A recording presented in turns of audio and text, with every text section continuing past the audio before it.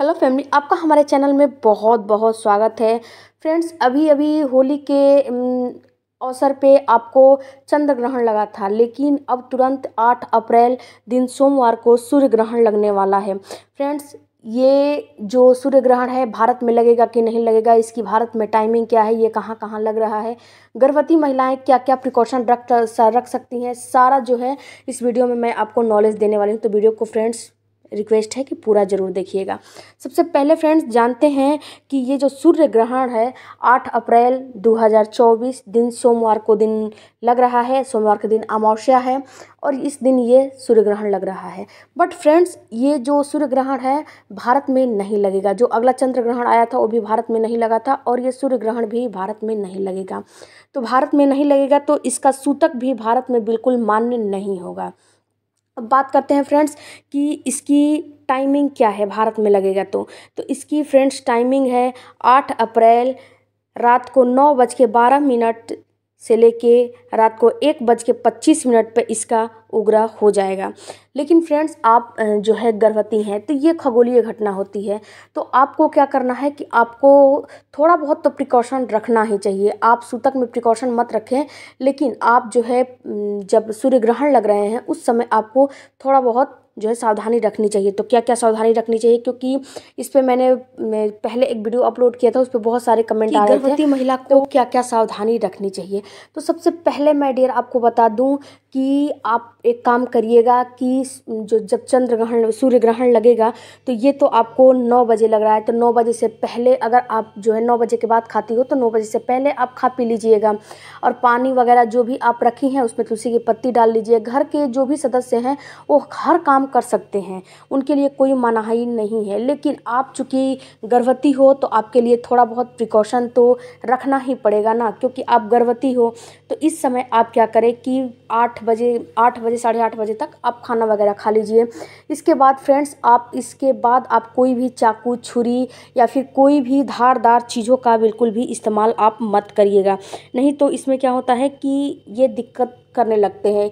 क्योंकि फ्रेंड्स ये जो सूर्य ग्रहण चंद्र ग्रहण है, कितने लोग मानते हैं, कितने लोग नहीं मानते हैं, लेकिन इसको आपको मानना चाहिए, क्योंकि इसको मानने से आपको ही बेनिफिट होगा, आपको ही फ़ायदा होगा। इसके साथ साथ फ्रेंड्स अगर आपका जो टॉयलेट बाथरूम है, अगर जो है अंदर नहीं है बिल्कुल बाहर है आसमान के खुले आसमान के नीचे है तो उसमें आप जा सकते हो लेकिन अपने पेट वगैरह को बिल्कुल ढक के जाइए अपना पेट मत दिखाइए क्योंकि यहाँ पे तो लग नहीं रहा है तो बहुत ज़्यादा प्रिकॉशन नहीं रखना है और रात को भी रात को ही लग रहा है चूँकि ये खगोलीय घटना है इसलिए आप प्रेगनेंट है तो थोड़ा बहुत आप रख सकते हो उसमें कोई दिक्कत नहीं है।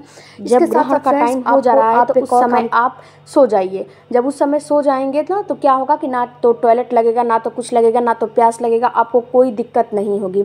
और आप जब जगे हो तो एक काम करिएगा कि आप जब जब जब जग रहे हो तो थोड़ा सा हनुमान चालीसा वगैरह पढ़िएगा, जिस, इससे क्या होगा ना कि इससे होता क्या है कि आप जो है राम का नाम लोगे, भगवान का नाम लोगे तो आपका शिशु बिल्कुल सेफ़ रहता है। अपने बिस्तर के नीचे आप एक काम करिएगा कि तुलसी की पत्ती रख लीजिएगा या फिर पानी वगैरह में तुलसी की पत्ती डाल दीजिएगा।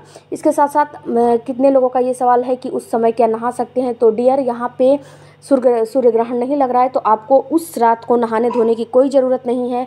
आप सुबह उठ के क्लीन होके और अपना पूजा पाठ हर चीज़ करिएगा सुबह ही नहाइएगा। और हो अगर आप सा, आपका सामर्थ्य है तो थोड़ा सा दान दान दक्षिणा भी दे दीजिएगा क्योंकि इस समय गर्भवती महिलाओं के हाथ से बोला जाता है ना कि दान वगैरह देना बिल्कुल शुभ माना जाता है। तो आप दान दक्षिणा भी दे सकते हो। और डियर फ्रेंड्स यहाँ ये जो ग्रहण है, ये आपको इंडिया में बिल्कुल नहीं दिखाई देगा। इंडिया में इसका सूतक पातक नहीं लगेगा। ये मैक्सिको कनाडा उत्तरी अमेरिका मतलब कि ये विदेशों में लगेगा। अगर आप इंडिया में हो तो बिल्कुल भी आपको घबराने की ज़रूरत नहीं है। ये आपको इंडिया में इसका कोई भी प्रकोप नहीं रहेगा। चूँकि खगोलीय घटना है तो आप प्रेग्नेंट हो तो थोड़ा बहुत आपको प्रिकॉशन रखना है और जो घर के लोग हैं, उन लोगों को कुछ भी, किसी भी प्रकार का प्रिकॉशन नहीं रखने हैं। इसके साथ साथ फ्रेंड्स आप एक और काम करिएगा कि अगर आप दान देना चाहते हो तो सुबह उठ के कुछ दान वगैरह दे दीजिएगा और आपको कुछ नहीं करने हैं। और जो जैसे आपकी लाइफ स्टाइल है, जैसे आपकी दिनचर्या है, वैसे आप अपना काम करिएगा। ओके आई होप फ्रेंड्स कि आपका भ्रम जो है बहुत ज़्यादा लोगों का भ्रम था, वो दूर हो गया होगा तो चैनल को भी ज़रूर सपोर्ट कीजिएगा और कोई भी क्वारी है तो कमेंट बॉक्स में ज़रूर दीजिएगा। आपके सवालों पे जवाब ज़रूर दिया जाएगा। और फ्रेंड्स माय इंस्टाग्राम आईडी है माई वुमेंस केयर माई मेरा पेज है माई वुमेंस केयर उसे भी फॉलो ज़रूर करिएगा। मिलते हैं अगले वीडियो में। Thank you for watching